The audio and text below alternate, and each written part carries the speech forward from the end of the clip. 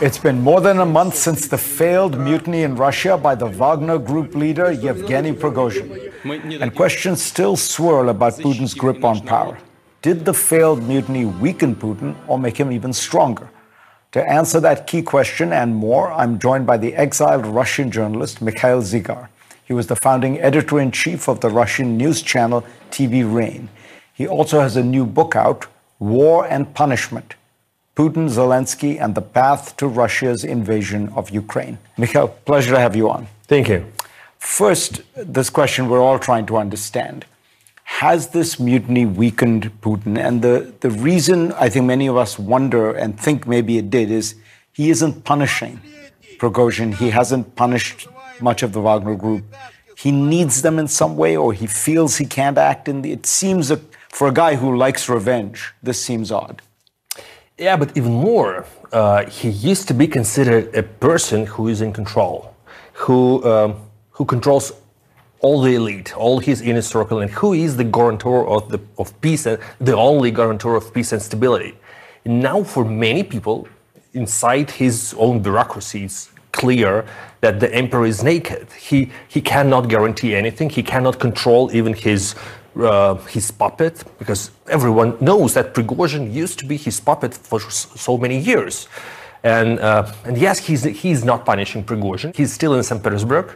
He spent most of uh, that month in St. Petersburg. He was even allowed to come to Moscow to meet with, with Putin personally. Is he, as far as we know, he's still in St. Petersburg? Yes, we, we, uh, it was revealed. Um, just it, it, has just been confirmed that he was attending the, the summit, the Russia Africa summit in St. Petersburg. The subtitle of your book um, gets at a very interesting question that a lot of people have. I mean, everybody from Henry Kissinger to Europeans say they thought Putin was rational, he was calculating, he was incremental, and they did not, as a result, predict or think that he would declare war in February when he did. What, why did he make that decision? Uh, you know, Putin is not as rational as uh, some people in the West believe.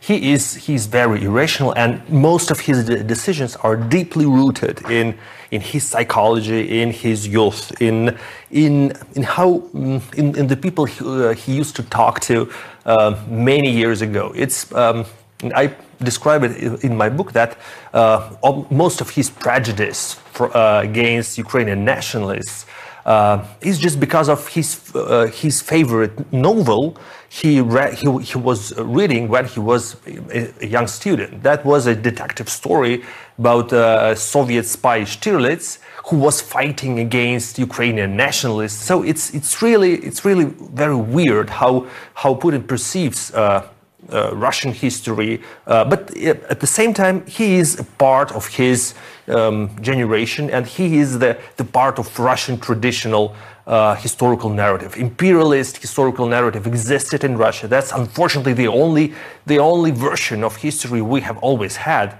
And uh, I, with, with this book, I'm trying to to debunk uh, the Russian historical mythology because it's uh, it's probably the most dangerous part of Russian propagandist narrative because Putin will go, but for many people, all those myths would remain the same.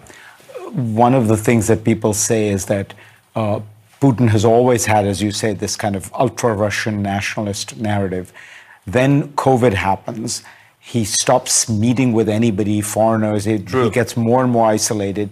He restricts him to himself to a circle of real uh, kind of acolytes and courtiers. You have to you had to um, quarantine for two weeks before you could even mm-hmm. see him. And so maybe that also explains that he really got into a kind of hothouse of just these these highly absolutely. nationalist Russians. Yeah, absolutely. And and it's uh, it's weird that during the the COVID months he uh, has become even more obsessed with history than than than before because uh, after that he started writing articles about the history of Poland, history of Ukraine, and he's always lecturing Russians about uh, about history, but.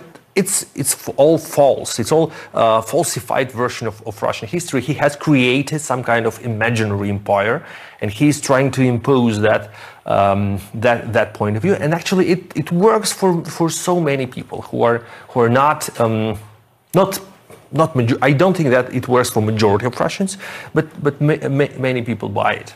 There was an anecdote in the FT that uh, Sergei Lavrov, the longtime foreign minister, who apparently was told about the invasion only two hours before, mm-hmm. uh, was asked, Who is advising Vladimir Putin? And he said, Oh, I can tell you, he has three main advisors Peter the Great, Catherine the Great, and Ivan the Terrible. So, it's to your point about Stalin, history, yeah. the fourth one, an important one is Stalin. Stalin. Yeah, definitely. Interesting. Um, at the end of the day, do you think um, his days are numbered in any meaningful sense? You know, actually, uh, the sources in Moscow, I believe, right after Prigozhin's mutiny, started telling me that uh, they used to be sure that uh, his situation is very stable and he's there, he might be there for years to come. But now they think that probably one year at least, because uh, the situation is, uh, the, the system is, is shaking. Uh, many people from, from his elite understand that he is uh, he's not there, and they have to prepare um, for Russia after Putin. And at the same time, you know, and he thinks that he, he underestimates all the, the difficulties of his situation, and he thinks that that the time is on his side because he's waiting for American elections. He, he's waiting for Donald Trump to be back. And he's sure that once Donald Trump is back in the White House, he's going to be fine. There's going to be no war, eh, no resistance from Ukrainian side, no support for Ukraine. He'll uh, deal with Trump. Yeah, and that, that's the ideal happy end for, for President Putin. Mikhail, pleasure to have you on and best Thank of you. luck. Your, your reporting has been fantastic. Thank you. Next on GPS, two prominent public officials, two powerful nations, two disappearances. What can we learn from these troubling events, one in Russia, one in China? That story when we come back.